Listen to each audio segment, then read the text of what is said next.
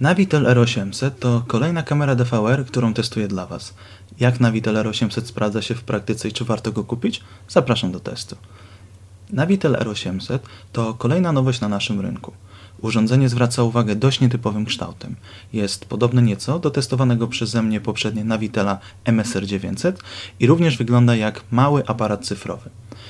Na tym podobieństwa się nie kończą. Urządzenie ma również bardzo duży czterocelowy wyświetlacz, 12-megapikselową matrycę, nagrywa w rozdzielczości Full HD, a obiektyw widzi w 170 stopniach. Jest jednak o 50 zł tańszy.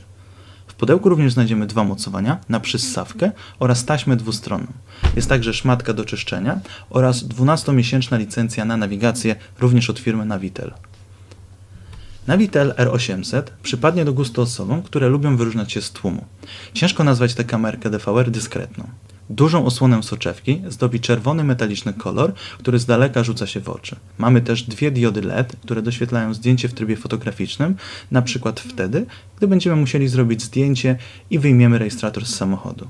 Bateria 200 mAh nie jest zbyt pojemna, dlatego wystarczy na zrobienie maksymalnie kilkunastu zdjęć. Z drugiej strony zastanawiam się tylko, kto będzie z tego korzystał, mając w kieszeni przecież telefon komórkowy. Navitel R800, podobnie jak MSR 900, ma mocowanie na śrubę. Nie jest to dobre rozwiązanie, o czym pisałem już wcześniej. Poza tym, że przynosi drgania z karoserii, to zdarzyło mi się wielokrotnie, że śruba luzowała się i rejestrator obracał się, zwłaszcza przy próbie naciśnięcia któregoś z guzików w obudowie. Sam wyświetlacz jest dość spory i pokazuje obraz z rozdzielczością 800 na 480 pikseli. O dziwo, szybko włączyłem tryb uśpienia, bo w trakcie jazdy rzuciło mi się w oczy lekkie opóźnienie obrazu na wyświetlaczu względem tego, co działo się tuż przede mną.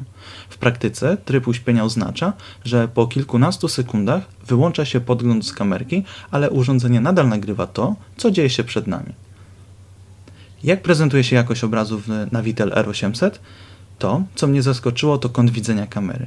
Na papierze jest dokładnie taka sama jak w modelu MSR900, ale obraz pokazuje zupełnie co innego. R800 ma znacznie większy kąt widzenia, przez co krawędzie są nieco zniekształcone. To i wada, i zaleta. Plusem jest to, że nagramy więcej tego, co dzieje się dookoła nas. Minusem, że centrum kadru da najlepszy obraz, co jest kluczowe przy odczycie tablic rejestracyjnych. Ogólnie obraz jest ładny, odpowiednio nasycony, bez problemów z artefaktami. Jednak kompresja również jest dość duża, przez co dystans, z jakiego jestem w stanie odczytać tablicę, to maksymalnie około 15 metrów. W nocy ten dystans spada o jakieś 3 do 4 metrów. To dość słaby wynik. Przez mocowanie za pomocą śruby również jest problem z przenoszeniem drgań na matrycę i mikrofon. Też słyszymy te charakterystyczne trzaski. Reasumując, Navitel R800 jest bardzo podobny do wersji MSR 900, jednak jest o około 15% tańszy. Navitel przyzwyczaił nas już do dość bogatej zawartości pudełka z urządzeniem i tutaj również się nie zawiedziemy. R800 to dobry wybór dla osób, które jeżdżą dużo po mieście.